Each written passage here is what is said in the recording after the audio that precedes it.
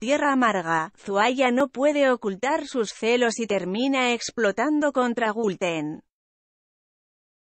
Zuaya descubre a Gulten y Yilmaz hablando en secreto y saca sus propias conclusiones.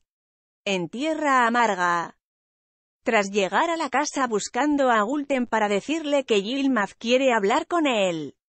Zuaya escuchó que había una conversación entre los dos y no pudo evitar seguir a Gulten para ver de qué estaba hablando con Yilmaz.